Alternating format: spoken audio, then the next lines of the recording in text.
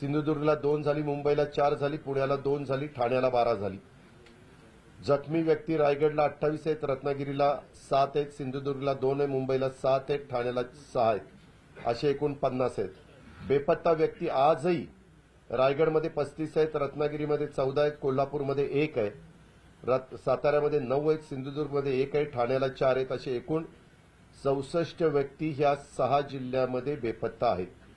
मृत जनावरांचा आकडा रायगडला तेहतीस रत्नागिरीला एकशे पंधरा कोल्हापूरला सत्तावीस सातारला तीन हजार एक्केचाळीस सांगलीला सोळा पुण्याला सहा ठाण्याला दहाशे दोन तीन हजार दोनशे अठ्ठेचाळीस जनावरं आणि जवळपास सतरा हजार तीनशे कोंबड्या ह्या त्याच्यामध्ये मृत्युमुखी पडलेल्या आहेत. आणि स्थलांतरित व्यक्तीच्या संदर्भामध्ये आत्ताच मी सांगितलं की आपल्या इथं जवळपास आता पावणे दोन लाख व्यक्ती स्थलांतरित झालेले आहेत. मात्र रत्नागिरीला बाराशे ठाण्याला सात हजार रायगडला एक हजार सातारला साडेसात हजार कोल्हापूरला चाळीस हजार पुण्याला अडीचशे आणि सिंधुदुर्गला बाराशे सत्तर असे एकूण दोन लाख एकोणतीस हजार व्यक्तींना स्थलांतरित आता काही काही ठिकाणी पाणी कमी झाल्यानंतर लोक आपापले दुकानं असतील आपापली घरं असतील ते स्वच्छ करण्याच्या करता जायला लागलेले आहेत. त्याच्यातले पण काही बाधित लोक आम्हाला भेटले ते म्हणले तो चिखल म्हणजे तो गाळ ओला असतानाच काढायला सोपं जातं आम्हाला. तो जर हे झाला आवळला गेला तो कोरडा पडला तर मग फार त्रास होतो. त्याच्यामुळं त्यांना पाठिंबाचा अनुभव लक्षामध्ये घेता त्यांनी ती सुरुवात केलेली आहे. दरडी कोसळण्याच्या मध्ये तळीये महाड तालुक्यामध्ये रायगड जिल्ह्यात सगळ्यात मोठा फटका बसला. साखर सुतारवाडीला पण पोलादपूरला तशीच दरड कोसळली. केवनाळेला पोलादपूरला कोसळली.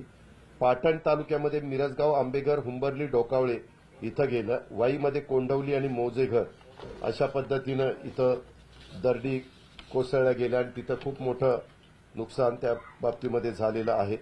आपण ह्या सगळ्या कामाच्या करता वायुदलाचा देखील हेलिकॉप्टरचा वापर करून त्याच्यातनं मदत कार्य अन्न पाकिटं पाणी बाटल्या यासाठी त्याचा उपयोग आपण त्या ठिकाणी करून घेतलेला आहे. एक मी तुम्हाला सगळ्यांना तुमच्यामार्फत ह्या सगळ्या जिल्ह्यातल्या जनतेला आणि महाराष्ट्राला सांगू इच्छितो अद्यापर्यंत सर्व पंचनामे पूर्ण झालेले नाहीत. नुकसानीचे आकडे निश्चितपणे बदलणार आहे जसं जसं पाणी कमी होत आहे तसं तसं शेती पूर्णपणे वाहून गेली खरडून गेली. पिकं पूर्णपणे त्याच्यामध्ये नष्ट झाली. ह्या सगळ्या गोष्टी तशा तशा कळत आहेत आम्ही आत्ताच स्टँडिंग ऑर्डर जिल्हाधिकाऱ्यांना दिलेल्या आहेत. की नवीन जे जे काही तुम्हाला आता दिसेल त्या त्या ठिकाणचे पण पंचनामे चालू ठेवा. तिथं कुठंही ते थांबवू नका. अशा प्रकारच्या सूचना देखील आपण जिल्हाधिकारी आणि प्रशासनाला दिलेल्या आहेत. तुम्हाला एका गोष्टीचं आश्चर्य पण वाटू शकतं. कोयना धरणामध्ये चोवीस तासात कोयना धरण बांधल्यापासून इतकं मोठ्या प्रमाणावर पाणी आलं नव्हतं. साडे सोळा टीएमसी पाणी एका दिवसात कोयना धरणाला आलं. कोयनेची कॅपॅसिटी शंभर टीएमसीची. आहे पण एका दिवसात चो- साडे सोळा टीएमसी पाणी आलं. आणि नवजा म्हणून तिथला भाग आहे.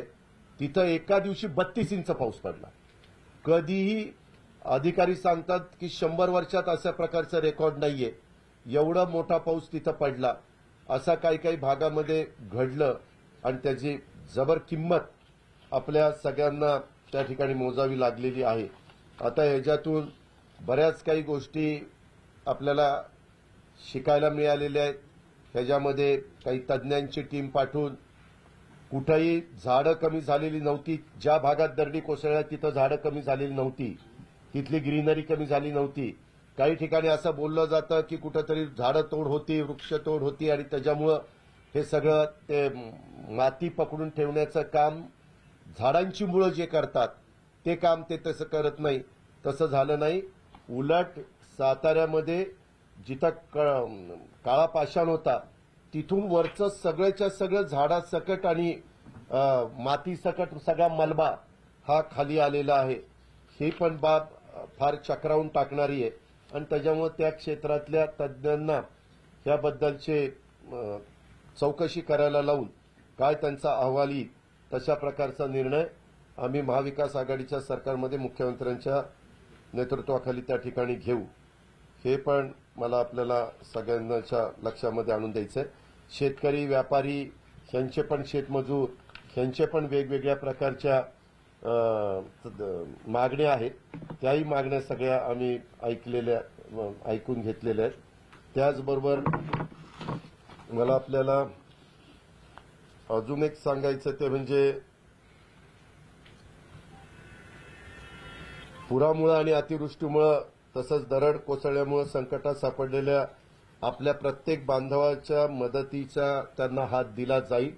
त्याच्यामध्ये शंभर टक्के सरकार त्यांच्या सगळ्यांशी त्यांच्या पाठीशी आहे. माननीय मुख्यमंत्री महोदय पंतप्रधान गृहमंत्री संरक्षण मंत्री यांनी हे राज्याच्या स्थितीचा आढावा घेत आहेत आणि आढावा मुख्यमंत्री घेत आहेत आणि सातत्याने केंद्रापर्यंत ती माहिती पण पोहोचवण्याचं काम करतायत. राज्याला आवश्यक असणारी मदत देण्याचं काम देखील ह्या सगळ्यांच्याकडनं चालू आहे. लष्कराने पण चांगल्या प्रकारचं सहकार्य केलेलं आहे. राज्य सरकारचा आणि केंद्र सरकारशी चांगला समन्वय आहे. केंद्राने पण राज्याला चांगलं आतापर्यंत सहकार्य केलं. आता इथनं पुढं आर्थिक बाबतीमध्ये पण एकदा किती नक्की सगळा भार उचलावा लागणार आहे तो सगळा आकडा पुढे आल्यानंतर पुढच्या गोष्टी आम्ही त्यांच्याशी पण त्या ठिकाणी बोलू. पण राज्य सरकार पण तिथं कुठं मागे राहणार नाही.